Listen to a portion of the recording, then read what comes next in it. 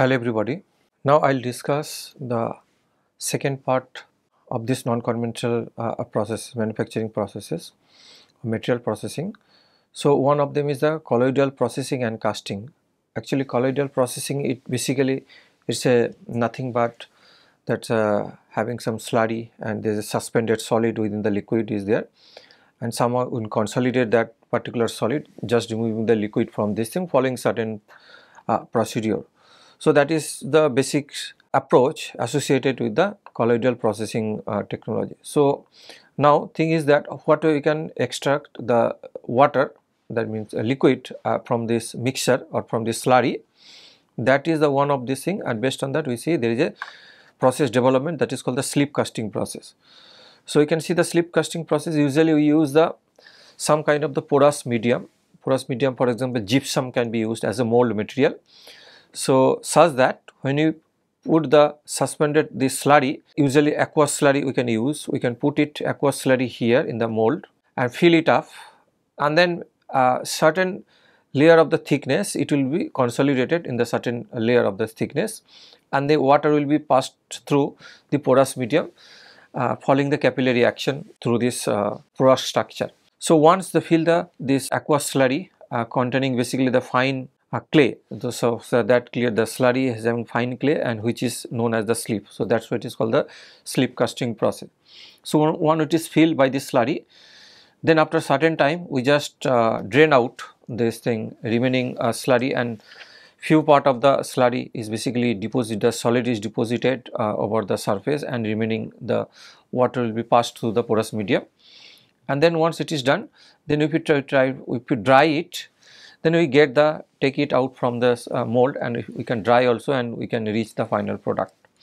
So here so is that the excess slurry which is not required in this case that can be drained out that can be reused also these things. But other cases also maybe we can look into that other way. If we put for a longer time the slurry within this mold cavity then thickness can be bigger. Here you can see the uh, figure E so, here figure E the longer casting time will produce the cast having the thicker wall and if you further continue this thing it can be make a solid uh, structure uh, which is almost nearly solid cast is, is possible to form using this process. Now this is the uh, simple way uh, we can construct the slip casting process but there is a we can accelerate this formation of this uh, component that means uh, time can be reduced. So what is the methods to increase the uh, this casting rate. Basically what we can increase the casting rate there are three different ways. One is the pressure casting vacuum assisted casting and the centrifugal casting. These are the the typical types of the the slip casting process where we can enhance the this casting rate. So here pressure casting we simply apply the pressure to the slurry such that this uh, this water can be removed from, from the slurry very quickly. So that is the one way to enhance the, the casting rate and that is the vacuum assisted casting. In these cases, we can use the apply a vacuum to the mold such that this creates some kind of the pressure differences and the extraction of this liquid uh, from, through the porous meter can be enhanced. So, in that way it can in, increase the rate of the casting process. Other is the centrifugal casting using the centrifuging. So, then we keep on rotation rotating and then consolidating over the wall and that is also by forcefully basically enhance the, the extraction of the uh, liquid uh, from the slurry. So, this way we can enhance uh, this uh, rate of this uh, slip casting process. Now, we can find the application of this typical slip casting process the dense refractory is very complex shape. So, dense refractories where the very dense structure is required thin even if you want to produce the thin wall products also for example crucible closed end tubes large structural refractories here you can find out this application of the this uh, slip casting process. The steps we can the simply we can explain the steps steps mean first preparation of the slurry in the slip casting process. Then verification of the slurry by screening. So by screening we can uh, of the slurry so that homogeneous mixture uh, can be formed. Then evacuation of air also from this mixture. Then we perform the mold filling operation. And during the mold filling this casting is usually done and draining of the excess slurry from uh, from the mold. And then after that we perform the partially drying while within the mold. So, within the mold, so to bring some strength, green strength we can partially uh, basically dry we, when this uh, layer is within the mold. Then after that we just separate out the uh, this uh, component from the mold and then uh, we can perform find the finishing operation, some trimming operation okay, and perform and before the final drying of this component such that the liquid can be dried and it can consolidate and make a make the component. So, these are the basic steps associated with slip casting process also. Now, we can here procedure is completely uh, this graphically can uh, we can explain this uh, process first with the liquid powder and uh, can be added together. Deflocculant is basically the chemical that is try to separate out the liquid suspension. So, that means the liquid suspension cannot mix uh, in this thing and create some kind of the cluster kind of the uh, structure. So, that is why uh, this kind of the chemical agent is basically used along with the liquid and powder and mixed together then is basically preparation of the slip. So, once slip is done then we, we can perform the mold preparation also done. Mold preparation has to be there as per the geometric shape of the component. Mold preparation is done then we put the this this uh, uh, this slurry within the mold and then slip casting is basically uh, perform the slip casting operation. Then once it is done the extra slurry can be draining out and then further stiffening of the this uh, deposited layer is performed then part removal, after removal of the part we can perform the drying operation. So drying and uh, during the drying operation densification can also be done. So it's basically bisque firing can be utilized to dry this consolidated component and of course perform the machining operations to get the shape and after that once it is densification is done then we get the final machining operations to get the exact shape of the components. So, these are the basic steps of the slip casting process. But in this case slurry is basically we are talking about the slurry, but slurry is basically liquid plus solid uh, plus any processing additives can be used and uh, it can be, but this can be uh, a variety of the mixtures can be used in for example in case of the ball mills planar, planetary ball mills and vibratory mills this mixture can be done. Now casting slurry is typically formulated to shear thinning to perform the shear thinning operations and apparent viscosity should be this one 2000 millipascal second and at a mold filling shear rate can go up to the per second 1 to 10. These are the typical parameters associated with the slip casting process. Now further fact associated with the slip casting process is that the density and apparent viscosity or I can say the yield stress of the slurry that should be very high in, in these cases because high enough to minimize the particle settling during the casting operation. So, this viscosity is relatively high then it, it, the settling times can be less that is why we usually put the viscosity is much more. Permeable molds for the casting are commonly gypsum is used because gypsum can create some kind of the porous structure and of course it is having 40 to 50 percent porosity is there and effective pore size can reach up to 1 to 5 micrometer. So, this way uh, this helps the this absorption of the liquid from from the slurry. So that's why we use the gypsum. Casting time can vary vary from few minutes for a very thin casting if you do and it can be partially coagulated by porcelain slurry could be about one hour to find out about the to get the thick porcelain cast. So that means it can vary depending upon the type of the slurry also or the time can vary also or uh, mainly actually the slip casting process the time should uh, more sensitive to the what is the thickness of the component we are looking for. In this case the dense solid cast fine particle size we can the initially we can create the fine particle size range up to the several weeks for thickness of 30 centimeter. For example, if you want to achieve the thickness of 30 centimeter then in that cases time can go up to the several weeks also. So that range of the time is basically required in this case. So that's why to one of the think conventional slip casting process uh, if we try to do perform the casting process without any external aid the time is basically rate of the casting process is very very slow. So, sometimes we can accelerate the rate of the casting process that uh, already one that uh, using some external aid for example the pressure casting process. So, we apply the pressure in this case is just to enhance the casting rate. So, in this case that uh, in general the casting rate is and the depending upon the pressure differences of course the through the porous medium the capillary section of gypsum uh, this sheet can create about the pressure is less than 200 kilopascal but at external pressure can be utilized or suction can be utilized to ensure the driving to flow out the liquid through the uh, porous structure and that actually enhance the casting time. So, that is the purpose of using the pressure casting. Benefits. So, significantly reduces the casting time particularly thickness for example 1 to 2 hours uh, to less than 20 minutes for a 1 centimeter uh, thick wall.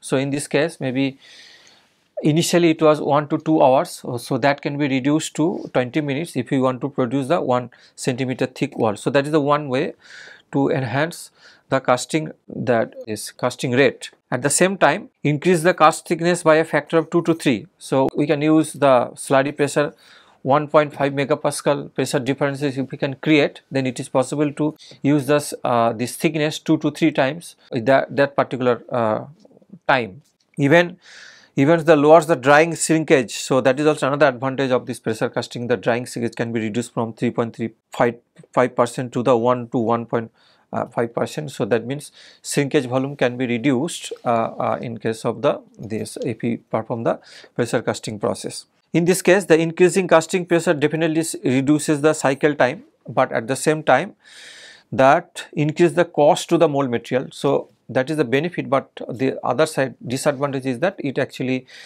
enhance the cost of the mold material and the equipment requirements can be much more in case of the pressure casting process. So, that is the one disadvantage we can say and high pressure slip casting it can go up to 4 megapascal is used basically for small volume production of the small shape. So, it can go up to 4 megapascal can be utilized and even for a, a very uh, small uh, volume production of the shape. So, these are the, the positive side and the negative sides of the pressure casting process. Now, slip casting but if you perform in the vacuum casting process. So, if you create the vacuum, so in these cases uh, is the widely used the very porous refractory insulation uh, in uh, in that cases we can utilize the vacuum casting process and that is basically having very complex shapes. So, that is why this vacuum casting is very specifically for the porous refractory insulation if you want to create this kind of the structure is more suitable in case of the vacuum casting process. Thus, slurry is basically partially deflocculant ceramic powder and the chopped refractory fiber also can be utilized here also in this in this case the slurry is more that thing because the fiber actually increases the viscosity and of course it increases the liquid requirement and increases the porosity of the cast. So, that is why we can prepare the slurry uh, uh, the using utilizing the fiber also because it helps to create this particular the porous refractory insulation structure and expandable permeable preform is coupled with the vacuum line also this mold and then it is submerged into the slurry. First it is coupled with the, the vacuum line and then after that it is basically submerged into the slurry and once up reach the desired wall thickness and this preform is basically withdrawn and actually removed for the drying and the chemical test. Once it is withdrawn and then after that it is remove the deposited part and then it is uh, performing the drying operation and chemical set can be done. So, in this case the external surface of a porous mold may be subjected to a vacuum to effectively increase the casting. That is always true because we can use the uh, vacuum basically create the pressure differences that helps to uh, increasing the uh, casting rate. Now similarly centrifugal casting also slip in another variant of the slip casting process with the external aid creating the this thing uh, uh, centrifugal force is basically helps to forming the advanced ceramics for example very complex shapes and of course in these cases we need a very high density structure. In that cases the centrifugal uh, casting is more appropriate but in this case the this actually helps to increase the settling force. So centrifuging enhances the particle settling with liquid displaced uh, to the top of the centrifugal cell. So in that helps it creates the densification of the uh, particles. So that is the one uh, reasons uh, for the centrifugal casting. Of course dense packing of the spherical particles is also possible using this thing. It is a very close pack, pack sphere uh, can be created uh, the separated by the porous inter-domain region. So, in this case basically this uh, even for the uh, using the spherical particles are very dense and the structure can be formed using the centrifugal forces increasing deficiency that is the basic purpose of using the centrifugal casting process also it basically increases the casting rate. So, high higher centrifugal force speed faster the liquid can be cast here. So, faster liquid can flow away from this deposition surface and it can create the dense structure or I can say that the rate of the casting can be enhanced using the uh, centrifugal casting operation. Now, I will try to look into this thing coating and the tape casting process. So, this is the our next uh, subtopic related to the coating and the tape casting process which is under the non-conventional material processing technologies. So, here also because non-conventional material processing technology is basically mostly associated with the ceramic material. So, here tape casting is basically special type of the coating process apart from the other non-conventional coating process. We will discuss later on about the our conventional coating process, but this is tape casting is a very special type of the uh, coating process and in this case purpose of the uh, tape casting is that to produce the very the ceramic sheet can be produced very thin ceramic sheet can be produced following the tape casting process and from the ceramic slurry. So, from the ceramic slurry we can create the uh, ceramic sheet. So, in this case we observe that whatever process we are following the in case of the ceramic we start with the ceramic powder actually and we make the slurry and from the slurry we basically carefully segregated the uh, the powders in the different way different techniques and we can make the perform the different uh, mm, manufacturing operation different component can be manufactured. So, in this case tape casting is basically mainly made for the very thin ceramic coating can be created.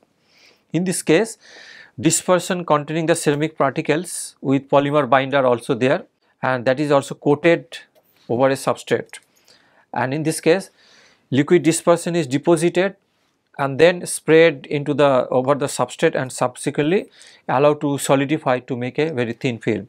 So, it is casted very thin layer and usually the flat surface and once it is done once deposition is done in that after that it is dried and if necessary we can perform the sintering operation also to make a very thin film. Tape casting is basically well known technique in case of the ceramic membrane production. So, in that area tape casting is very well known technology to perform the uh, ceramic or to produce the ceramic membrane.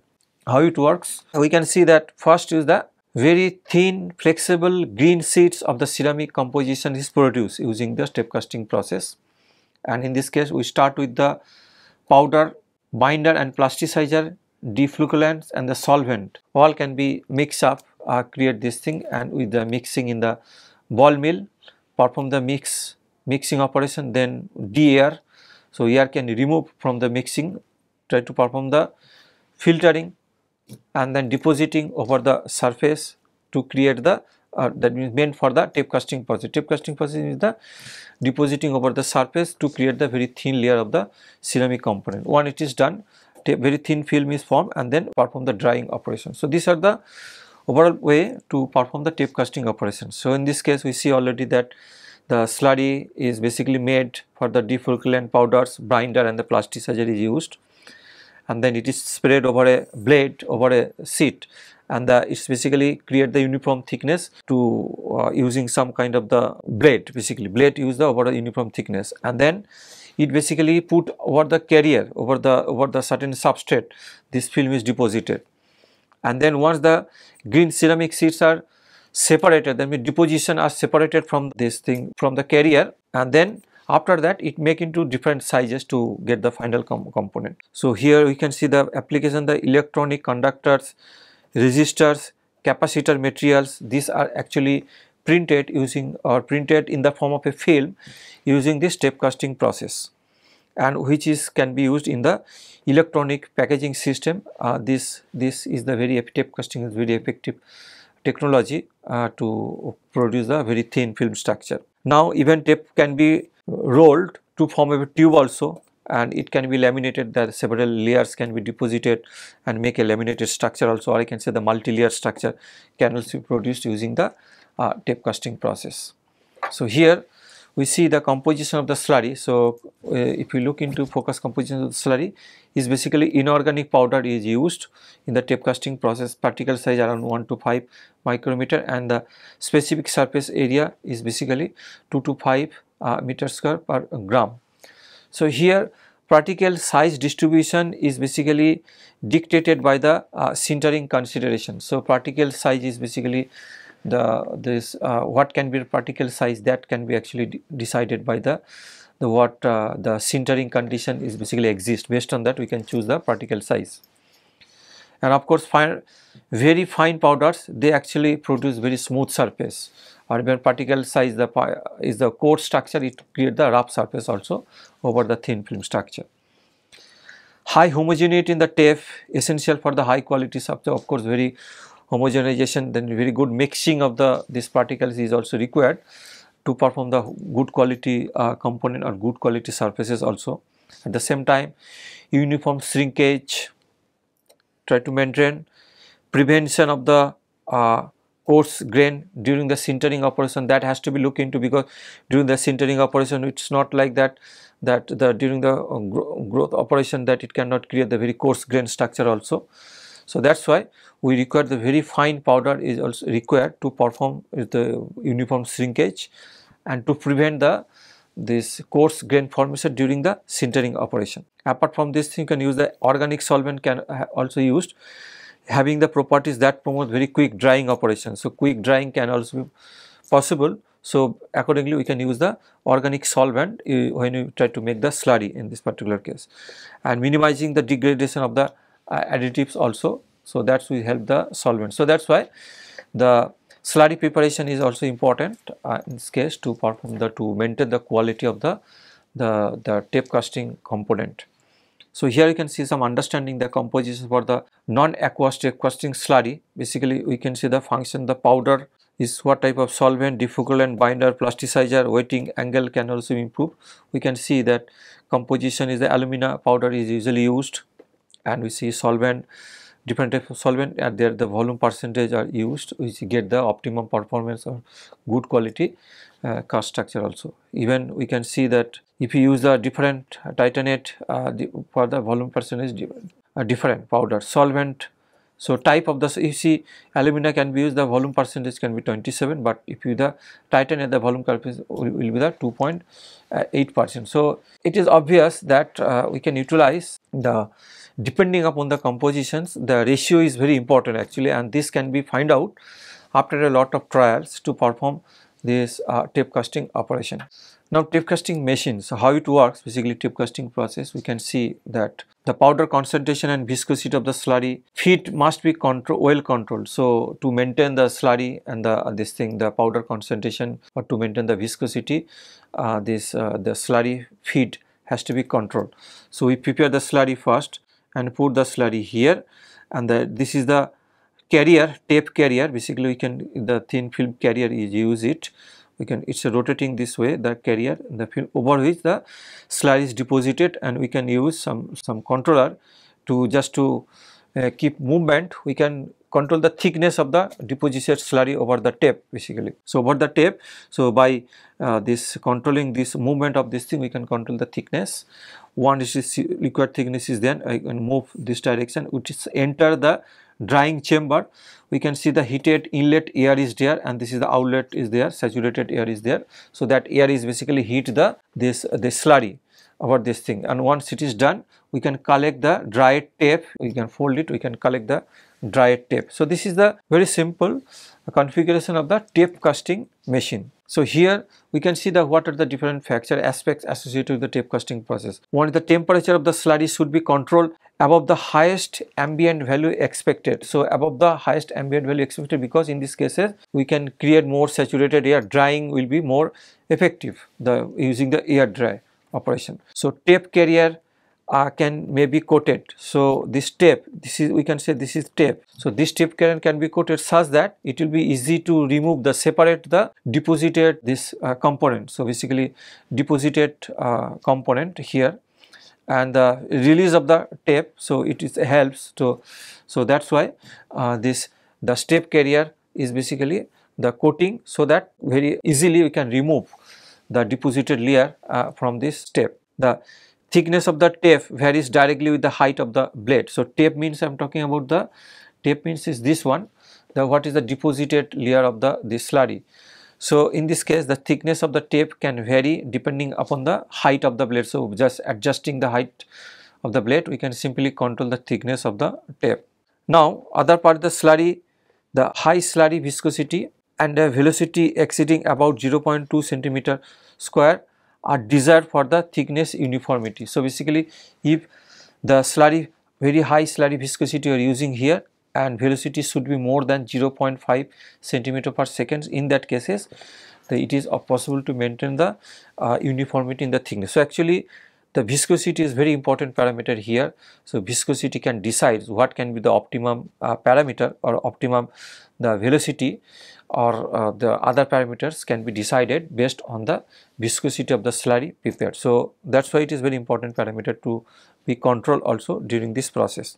Casting machine can go up to 25 meter length and width can be several meter and speed can go up to 1500 millimeter per minute which is basically used in the uh, industrial process. But tape thickness can go up to 25 to 1250 micrometer. There is a wide range of the tape thickness can also be possible to produce using the tape casting process. Now tape casting machines we try to focus on the drying operation what a drying can be done. In this case the viscoelastic tape is formed. So the viscoelastic tape is formed in the slurry after drying the air. So this, this viscoelastic uh, elasticity is there. So as the slurry moves through a drying tunnel and the solvent is basically vaporization. So when solvent vaporization the viscosity is basically increases. So it finally reach is finally reached to the as a viscoelastic material. In this case addition to the carrier that should be sufficient to prevent the curling also. So I mean to say that when you perform the drying operation, so in perform in such way that uh, this carrier should not be the curl during this drying operation. So that should be attachment should be there with the carrier such that it should prevent the curling during the drying operation. But at the same time it should not also avoid the eventual separations uh, from the carrier. So temperature must be controlled and usually keep the below the boiling point of the solvent system. So that uh, that way the temperature is controlled and of course capillary force transfer the liquid to the drying surface it is also there capillary force is try to the transfer the liquid from the to the surface. So therefore shrinkage occurs and the solvent is lost of course solvent is lost from the slurry then it expected there might be some kind of the shrinkage is there. So, uh, at the same time when the solvent is lost, more particles comes to the close together and it also affecting affecting the thickness of the tape. So, we have to be carefully control uh, this thing that calculations must be done the because solvent is lost then of course this modify this alter the the thickness of the component. At the same time there might be another problem that during the drying up the segregation of the particles should not occur or there might not be organic phases should not occur during the uh, drying phase. So, should not create some kind of the organic phase during the drying operation that has to be looked into. Even this once it is uh, viscoelastic step becomes more elastic as the drying continues. So, we can perform the more drying operation. So, viscoelastic is gradually becomes more elastic try to convert it to the elastic material. Particle fraction of the particles in the dried tape is around 50 to 60 percent is the, usually the particle fraction is which is uh, optimum uh, frac volume fraction of the particles and dried tape can be used directly uh, or it can be create some kind of the reel also using the dry tape or we can make it the cut as per the size or shape of the uh, component. So, these are the typical uh, aspect associated with the drying operation in the tape casting process. Now, I will try to discuss about the coating process. So, once the of course we already discussed the uh, the tape casting is one type of the coating process ceramic coating process, but we will try to look into the other other coating process also. So, for example, first we will look into the overview of the ceramic coating process. So, these few facts also important to understand the overall view of the ceramic coating process. One is that ceramic coating process is extensively used for the surface modification mostly surface modification we can utilize the ceramic coating operations. So, it is mainly used to prevent the oxidation and corrosion also to prevent the surface from the oxidation and corrosion we usually perform the this ceramic coating process. But at the same time it also minimize the wear damage for that purposes also we can perform the we can put the ceramic coating on the surface also. Now actually ceramic coating creates the hydrophobic surface such that any kind of the contaminants are just kicked off uh, this thing uh, contaminants of paint makes it easier to clean the cars also you can see the, the hydrophobic surface it the this by putting the coating the ceramic coatings will create this thing. It will helps to just to the easier to clean on the surface in case of the car also uh, car body surface. And of course try to reach very better finish uh, if you clear this thing. And even fading also that means oxidation even chemical stains and the itch marks can also be uh, this avoided. If you create the hydrophobic surface using the ceramic co uh, ceramic coating. So, that is the practical application of the ceramic coating. Various techniques like the we are talking about the ceramic uh, coating, but say tape casting is the one type of the coating process, but in this uh, ceramic coating is the can be used the different techniques. For example, the techniques can be or technologies can be the vapor deposition technique, chemical and electrochemical deposition, thermal spraying, sol gel, atomic layer deposition and the solution immersion. These are the different techniques is associated with the to deposit to create the ceramic coating. Ceramic coating also of course application in case of the architecture, marine industry, aerospace and the biomedicine. In this particular field we can find out the lots of application of the ceramic coating. Here advantage is that ceramic coating is usually cost is low, preparation is very simple, corrosion and the wear resistance properties can be easily imparted using the ceramic. Thermal stability can be very high associated with the ceramic coating, mechanical durability is also high and the even some uh, ceramics are also biocompatibility also. So, we see that there are so many uh, advantages associated with the ceramic coating process. Similarly, we can get some overview of the polymer coating also. In this case the polymer coating also having very good shielding effect. So, that is the main purpose of using this uh, polymer coating. It basically protect the metal substrates and having very high flexibility of the uh, polymer coating. The traditional technique for the polymer these materials using the polyurethane coatings, epoxy coatings, acrylic coatings these are the we can see different varieties of the uh, polymer traditional polymer coating system we can find out. So, this polymer coating is mainly used for the to protect the metallic surfaces also in that cases use the polymer coating, but polymer coatings can also be functional specific functional can be imparted using the polymer coating process. For example, the adhesives, photographic film and the protective uh, and putting some anti-corrosions or some kind of the decorative uh, features can be associated with the uh, polymer uh, coatings also. Even they can use the for modify the surfaces. For example, paper coating, hydrophobic coatings, they actually try to modify the uh, surface behavior using this uh, polymer. So, we can see there is a lots of uh, applications area associated with the polymer coating process.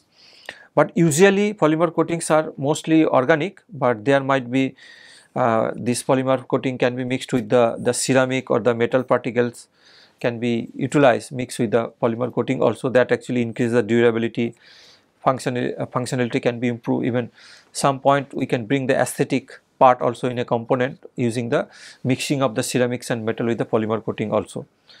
But polymer coating is typically order of thickness can be vary from 1 micrometer to 100 micrometer thickness in that range polymer coatings can vary.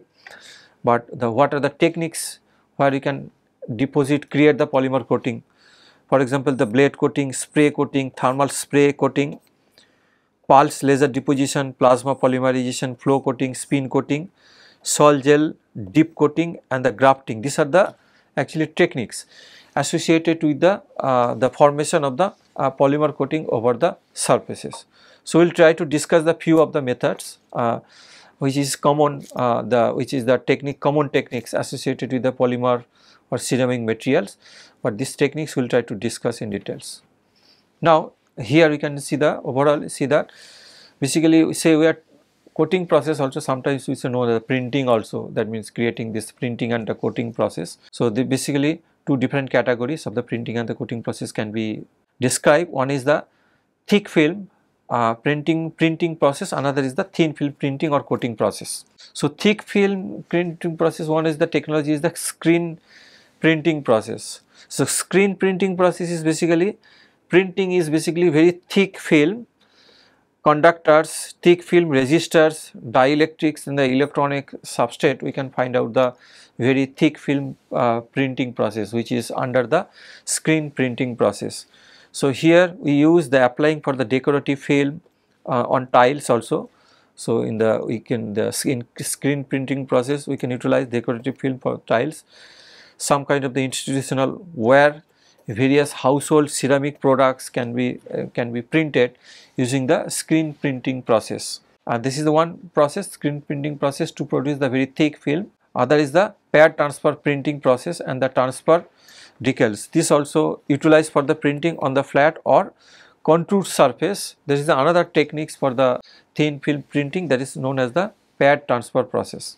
So, these are a thick film uh, printing process. There is a thin film also printing process or coating process. One is the sol gel coating process, then thermal and the plasma spray process and the electrophoretic electrophoretic coatings also. These are the different types of the coatings process we can utilize for the to create the very thin film uh, over the structure over the substrate. Now, screen printing process.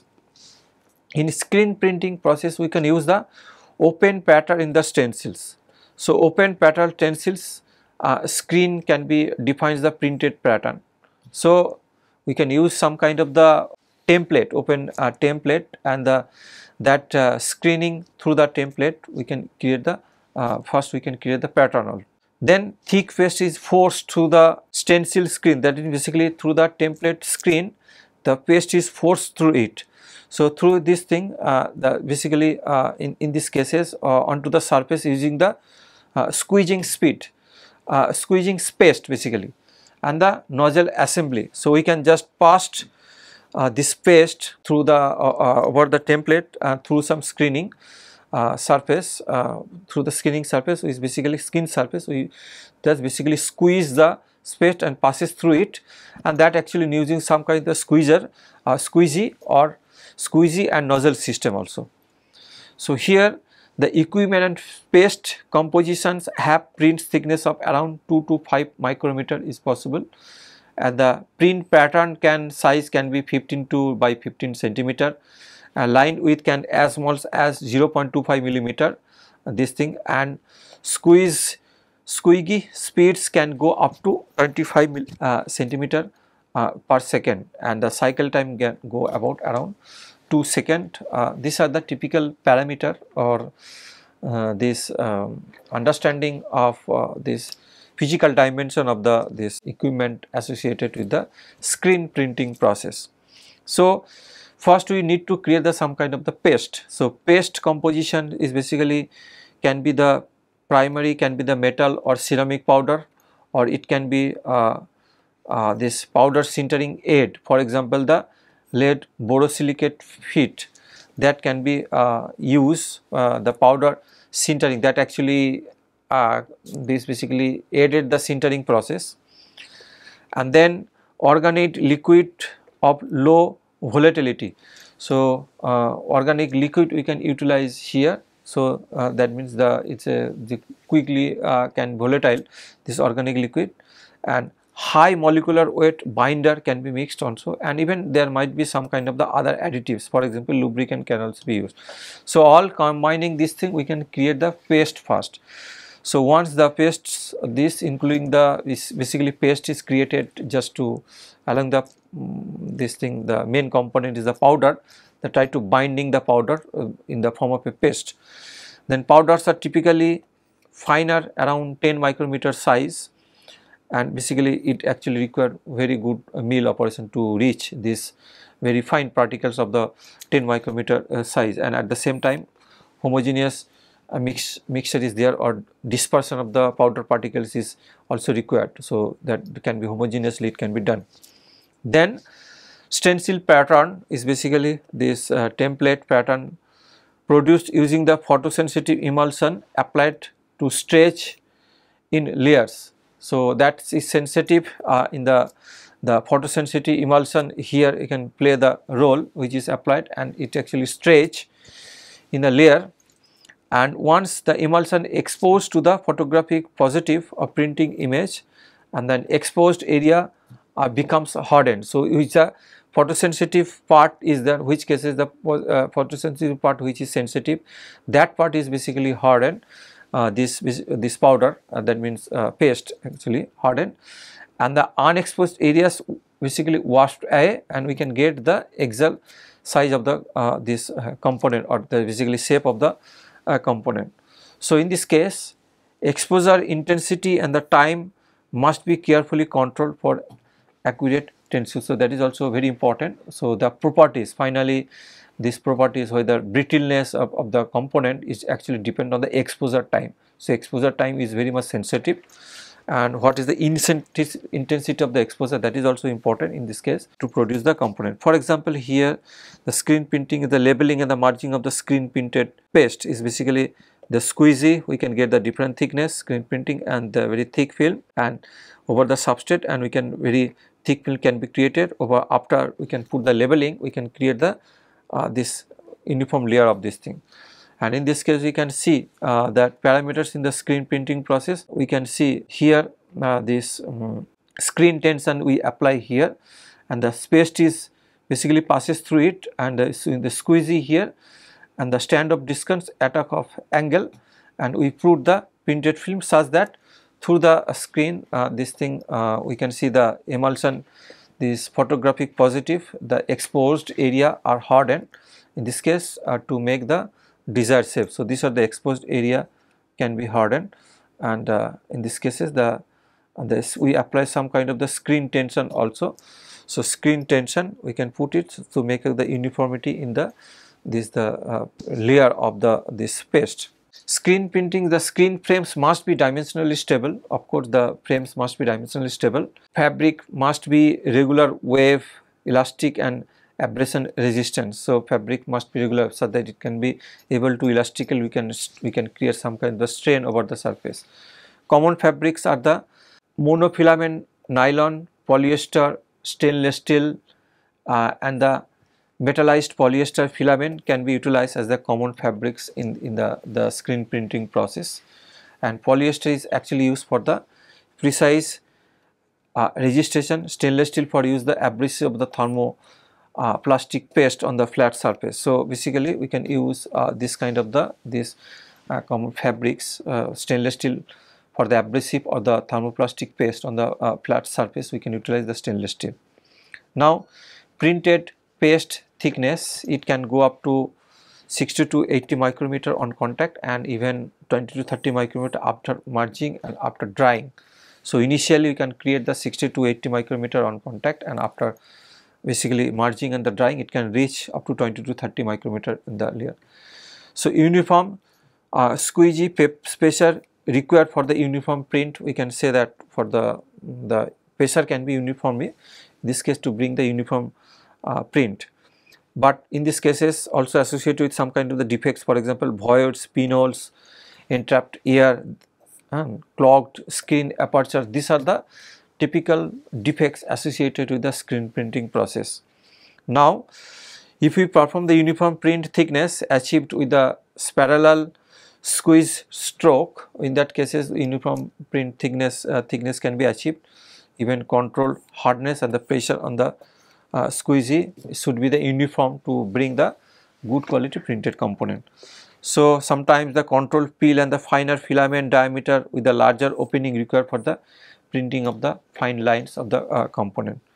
But in this case surface roughness in the in the paste transfer and the addition but excessive roughness leads to the unacceptable coating thickness. So, that is also the surface roughness is basically adds to the transfer of the thing and excessive roughness is there in the surface excessive rough in that cases the coating thickness may not be able to the the uniform thickness we will be able to achieve. So, these are the typical problem associated with the screen printing process.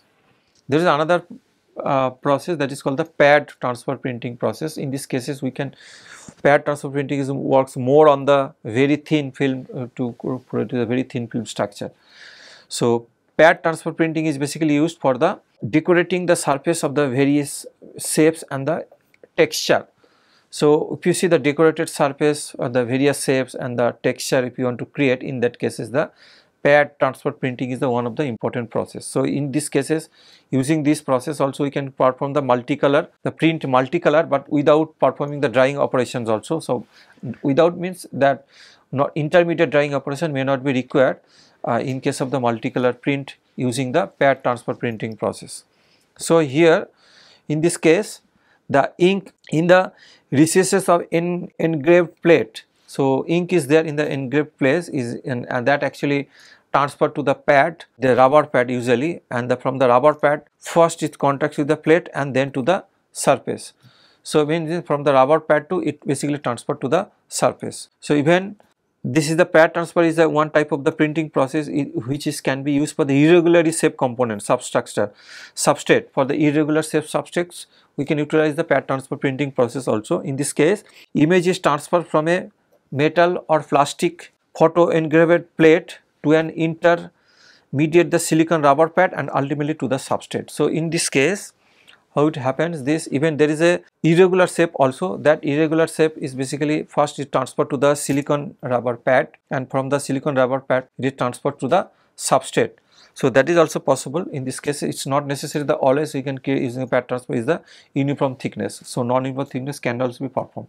So from this figure you can easily understand this thing. For example this is the a pad. So this is the this uh, color is photo engraved plate is color is there so, when the pad is in contact with this thing we can pick up the color with the pad. The color is attached with the pad in this case and the pad picks up the uh, tacky surfaces of the of the ink basically touch surfaces of the ink the, it transfer to the pad.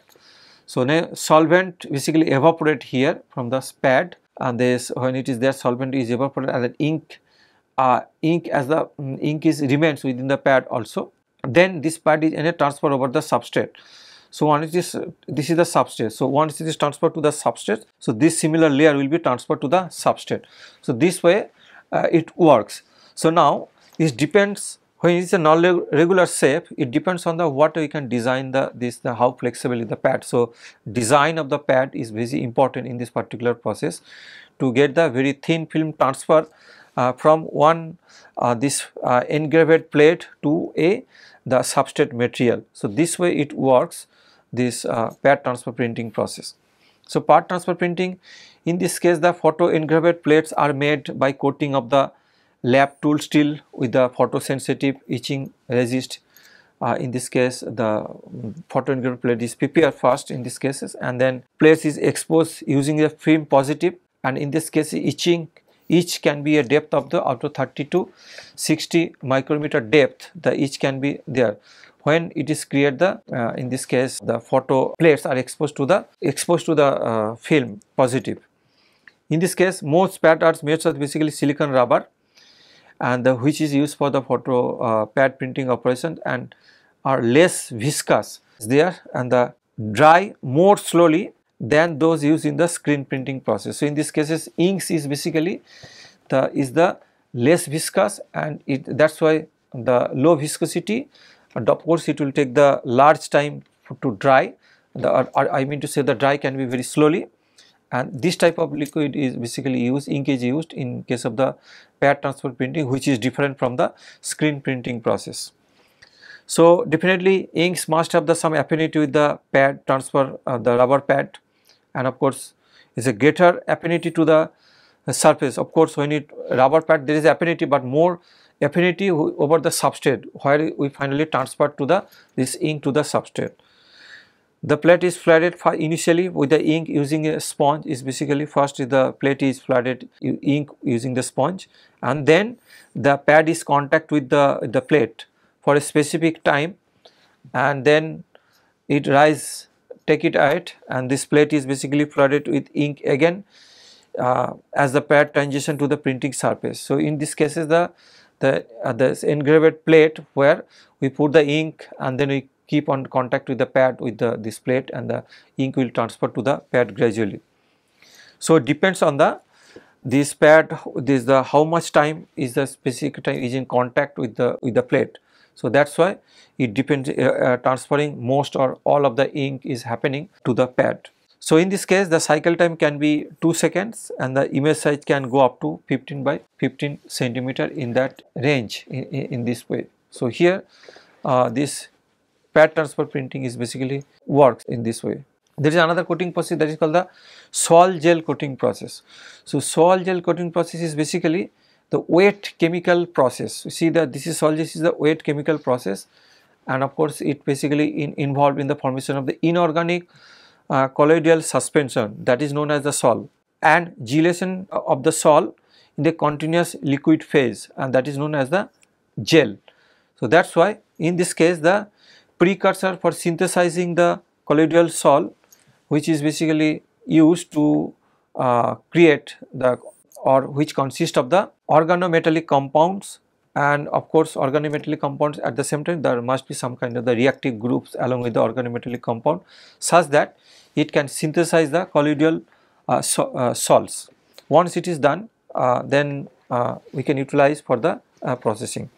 So, in this case the metal alkoxide since can be utilized uh, these things for example these aluminates, titanates, zirconates, borates are the most used the this is the most used in the sol gel process. So, this kind of the this metal oxide is basically utilized in case of the sol gel process. So, in this case sol gel process can be in the form of a very thin film particles, uh, fibers, aerogels and the dense materials at the micro and nanoscale following the heat treatment operation. Actually this solution is the colloidal solution uh, can be in the different way it can be different form it can it can exist in the form of a film, in the form of a particles, in the form of fibers, in the form of aerosol, uh, aerogels. Uh, this way it can form also. So, sol-gel products are initially amorphous initially and the, so that if we from amorphous if we try to transfer to the crystalline structure, sol-gel uh, that can be achieved using the appropriate heat treatment. So, if we perform the heat treatment, so it basically amorphous sol-gel can be transferred to the crystalline structure. The range of the application of the sol-gel dry products is basically aerospace industry, and that actually till it continuously expanding the application of the sol-gel method in the aerospace industry that finally because it is very uh, resulting good strength, density and the uh, chemical inertness is possible to produce using the sol-gel pocket. So, one of the largest aircraft applications in the thin film coating on various alloy surfaces is the this uh, can be produced by the spin coating, spray coating, roll casting electrophoresis and the dipping uh, and the dipping. These are the this uh, process. But in this case the sol gel can be one of the important uh, you can find out the uh, application for the aircraft industry. So employing this particular sol gel method coating is basically it actually try to replace the highly toxic chromium conversion coating on the aluminum alloy. So that's why the sol gel method is mostly used uh, for that purposes. Is just try to replace the the other methods because of the highly toxic chromium is produced in the uh, over the aluminum alloy surface.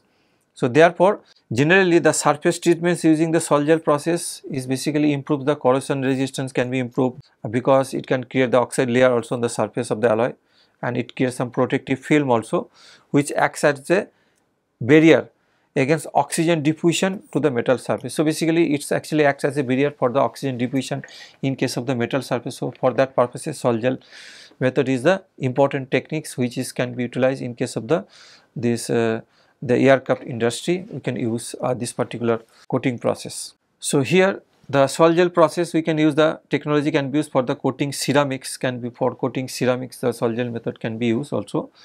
So, in these cases for example overall chemistry for the forming titanium oxide is something like that. We use the um, Ti over 4 H2O titanium oxide and 4 over. So, here you can produce the titanium oxide. So, the technique used for applying the sol gel coatings is basically the techniques for the sol gel method for dipping, draining, spinning and the spraying the way to first we create the sol gel and that is the, the sol gel is basically the different techniques is used to create the coating over the surfaces. So, we see the pressurized sol here through the nozzle and spray over the surface and this sometimes we can use the uh, it is you know the uh, spin coating operation. So, we basically uh, spinning that means rotating the this substrate over which the this some layer will be created and once it is done we take the substrate and separate or the film or we can keep it as well.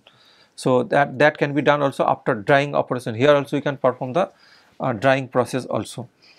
So, here the when sol is created and that if a dipping action can be produced, the uniform fire coatings of about 100 uh, millimeter in thickness on the non-porous surface. So, in this case the dipping can also be done to produce the uniform thickness is of the coatings is possible in case of the dipping process.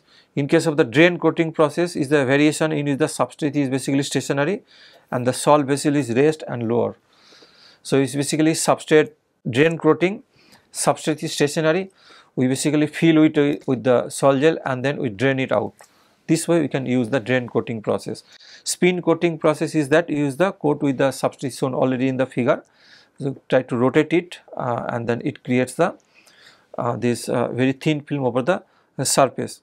Here the solution drips onto the center of the substrate at about 3 to 4 hertz and solution may be sprayed onto the surface during the rotating of the surface. So, this way we can apply the sol method to create the coating over the uh, surface, different type of the surface and here you can see the different processes. Dipping can be done also, draining can be done also or even spinning can be done or even simply spraying can also be done over the surface. All this methodology can be applied for the sol gel method. Now electrophoretic and the electrostatic coating this is another uh, coating process. So in these cases the electrophoretic in this case a conductive surface is required and that can be coated using the electrophoretic and basically or electrostatic techniques both way the the material must be the conductive material conductivity of the electricity must be there. So electrophoretic means basically electrophoresis is basically techniques that actually separates the substances using an electric current. So basically it separates the substances from the electric current and makes the deposit over the surface to create some kind of the coating over the surface. So, that is the basic principle associated with the electrophoretic coating process. So, in this case advantage is that high degree of thickness uniformity is possible. So, uniform thickness is possible bring to very smoothness and good coverage of the shape edge. So, along the edge also even over the edge it is possible to produce some kind of uniform thickness deposition of the coating is possible and even there is a drilled surface also within the drilled surface also this type of coating is very effective. Or if there is a small cavity and within the cavity we perform the very thin film coating also. In that case the electrophoretic or the electrostatic coating is the one of the options for that. Electrophoretic deposition in this case we started with the slurry containing about the 25 percent volume percentage of the powder. And of course along with the other additives for example well de, de deflocculated to provide the maximum particle mobility also there. So, we create the for the slurry which is the main 25 percent powder is there. Uh, in this case the powder is well dispersed and extremely fine to minimize the settling. So, that means the powder particle should be extremely fine so that the settling will be good or smoothness can be bring. And in this case the for aqueous slurry the substrate is normally put in the anode side and other part we put in the, the cathode side the this thing. The the substrate is on the anode and this between the anode and uh, cathode we can create the uh, the passing of the uh, action such that these metals uh, this coating will be deposited over the conductive surface. Similarly, electrostatic application is also widely used for the applying the applying the paint and the enamels on the metal.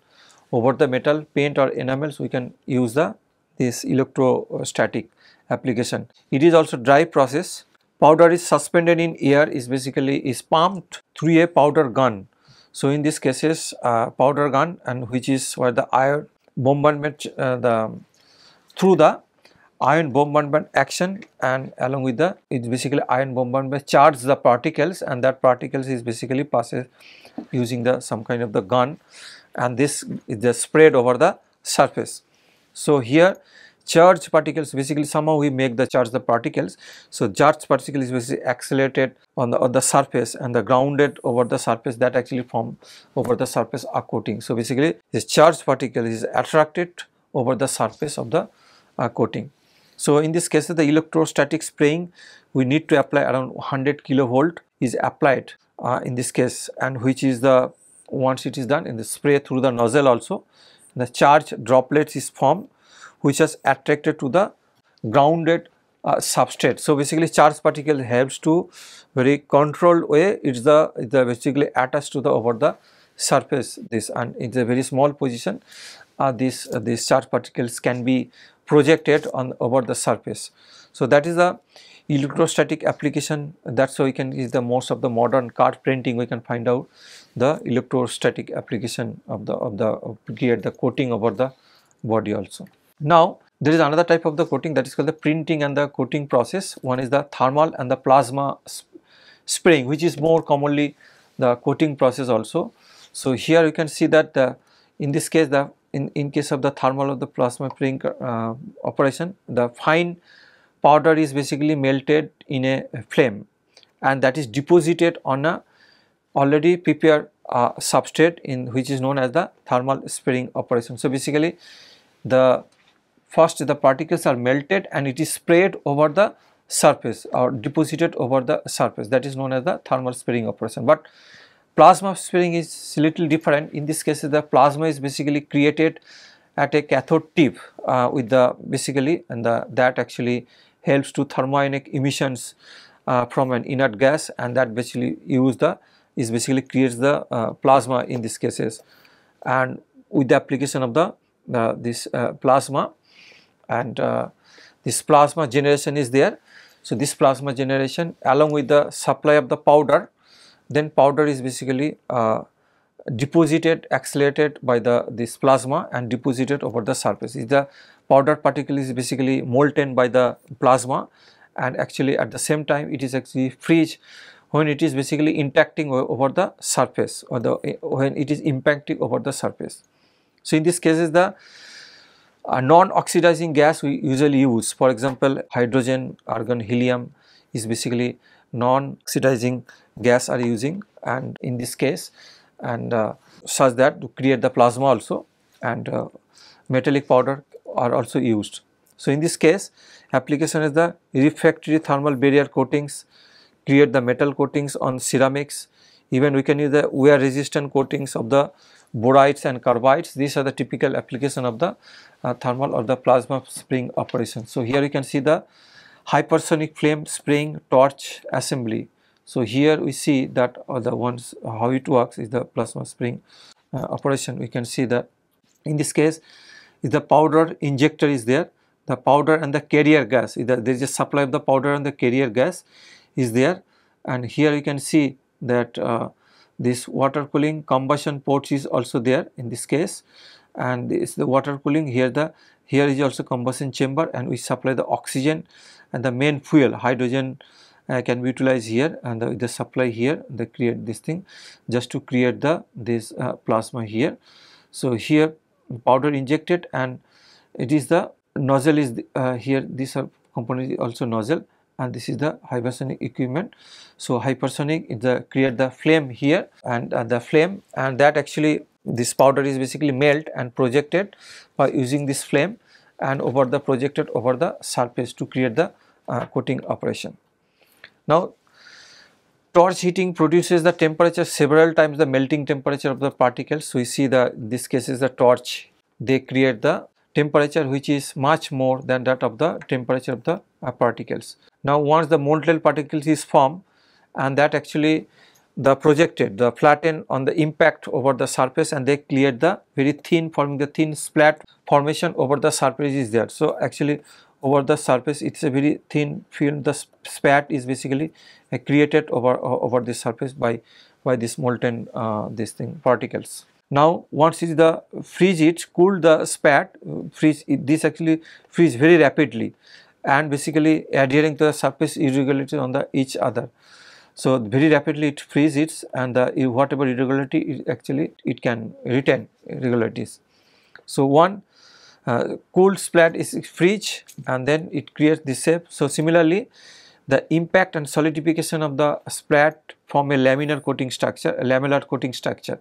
So, basically impact or this lamellar coating structure over the splat. So, lamellar coating is basically this type of layer we can say lamellar structure can be formed. So, such that average coating roughness is basically proportional to the particle size of the, uh, into the feed. So, here surface roughness entirely depends on the particle size you are creating using this uh, uh, plasma spraying operation and of course, it depends on the coating porosity it, depends only on the mainly on the particle size, but in this case the coating porosity can range from 5 to 20 percent and even even it can be more if the splats are par partially molten. So, if the splats are partially molten in that cases uh, in that cases the porosity can be very high in, in case of the thermal and the plasma spraying operation. So, here you can see that although this the thermal and the plasma spraying operation there is a huge application this thing. So, in this case uh, we use directly the melting this thing we can create the so from using some torch we can create the this uh, melt the powder and it's a, it's basically uh, depositing over the surface that is called the thermal spraying of uh, thermal coating operations or plasma spraying means we can use the we use the plasma instead of uh, directly uh, melting this using some torch. So, rather we create the plasma and that plasma is basically this uh, create uh, this projected uh, this powder particles and thus melt the powder particles and project over the, the surface. So, this way we can the, there are differences between the thermal and the uh, plasma spraying operation. that is all in these cases I have tried to explain the different type of the uh, coating processes and which is uh, under the non-conventional material processing process. But of course, in conventional there are so many other types of the coating process we have not discussed uh, in these cases here we try to focus on the only the non-conventional coating operations. So, thank you very much for your kind attention.